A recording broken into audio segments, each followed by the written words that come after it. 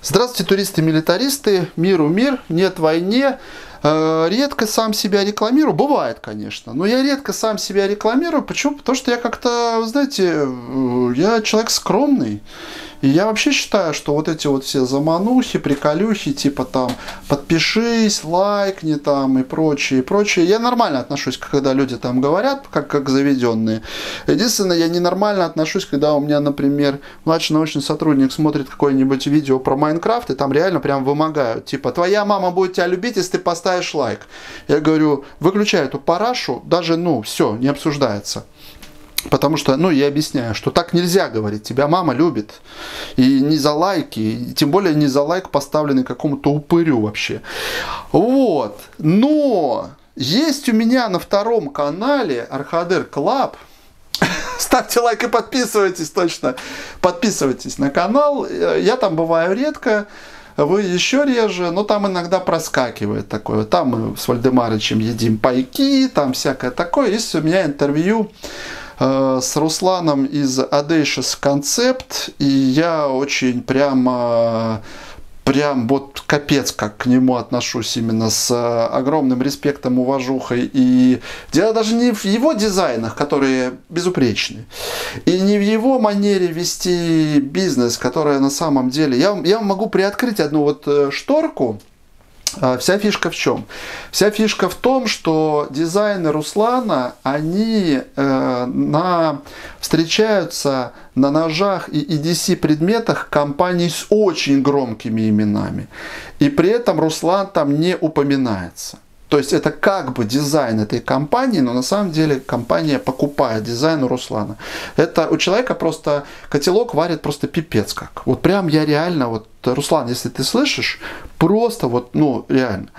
И у меня есть интервью с ним, и это прямо вот как нектар, как вот... Э, когда ты с человеком, вроде бы ты считаешься там нажиманом, там пятое, десятое, когда ты с человеком начинаешь разговаривать, выключаешь камеру, потом разговариваешь за кружкой пива, ты просто охереваешь. Это энциклопедия. Это как Паша Вальдемарыч в огнестреле. Это как Андрей Борисович в этом самом, в тактическом снаряжении. Это как Сережа Вербат э, нетрезвый Сережа Верба тоже в огнестреле. Ты просто на халяву получаешь такие знания, которые, чтобы получить, нужно или просто часами сидеть в каких-то библиотеках, или тебе нужно просто, блин, я не знаю, там, ну, пуд соли самому съесть. А тут человек сидит и все тебе просто так рассказывает. Вот. Я сейчас к чему? К тому, что с Русланом недавно конкретно по этому ножу у меня был разговор, и это как-то так, наверное, его задело, что я так, ну да, типа типикал там туда-сюда. Он такой, а почему ты считаешь, что типикал? Он говорит, во-первых, давай, говорит, вот смотреть, да, э, он просто, ему нравится именно, как сейчас стрельнул Кунву, по сути, мне тоже нравится этот бренд, мне очень нравится, как вот, вот все в них, по сути, именно их подход. И он начинает перечислять, и я понимаю, что он прав. Почему? Этот нож стоит на ламне 249 евро. Руслан говорит, смотри, в комплекте проволочная клипса, если ты хочешь э, проволочную поставить, именно скрепку, или вот такая вот оригинальная титановая клипса. То есть уже как бы фишка, да, фишка.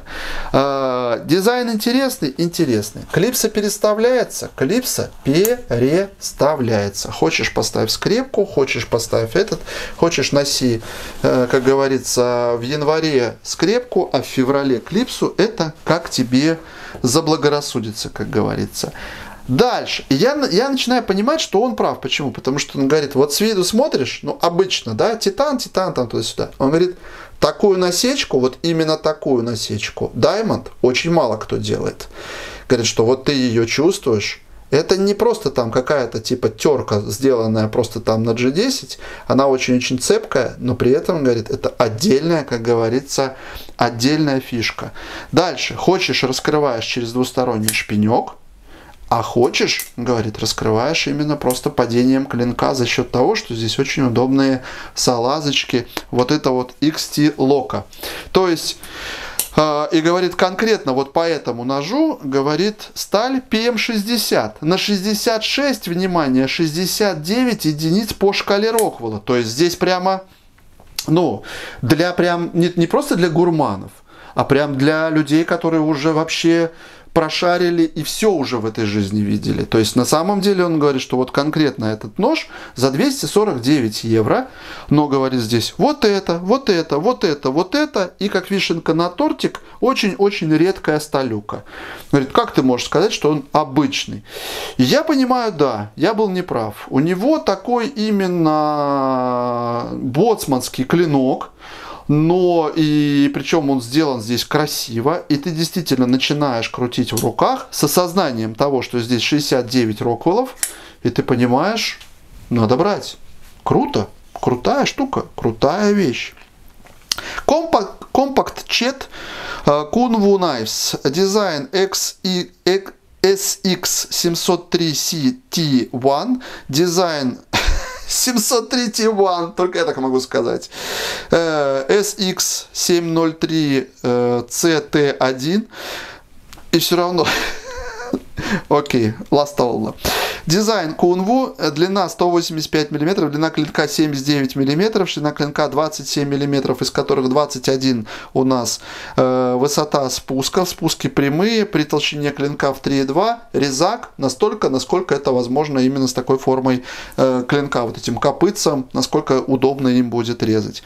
Э, финиш клинка Stone Wash, вес 128 грамм, сталь PM60, 66-69 единиц по шкале Рокола заявленная твердость, рукоять титан с насечкой э, Diamond, замок XT Lock, кассетный керамический шарик-подшипник и, как я уже говорил, на ламне этот нож стоит 249 евро.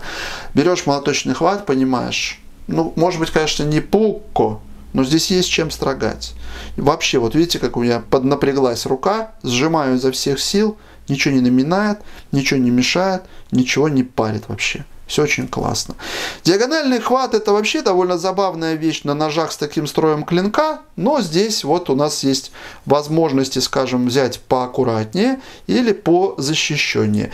Здесь зато вот это место, оно удобно для того, чтобы сюда присоседить средний палец, указательный выставить сюда и так раз, и аккуратненько, аккуратненько э, разрезать.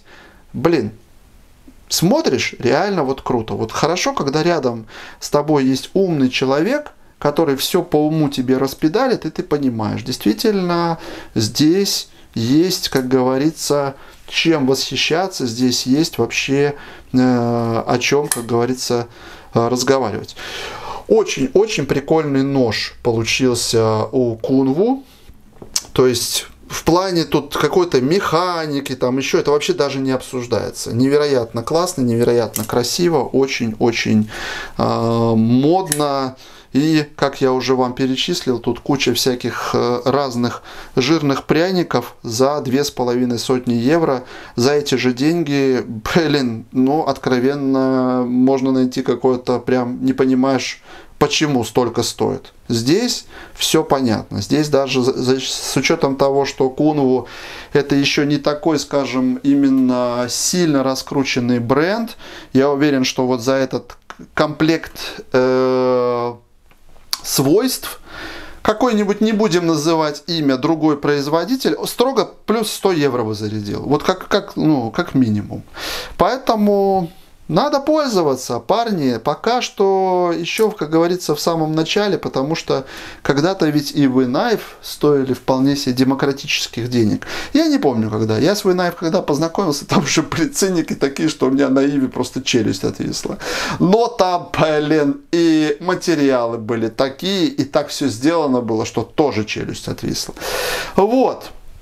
Классно, красиво, очень так именно олдскульно, но при этом полностью напихан всяких современных модерновых штучек.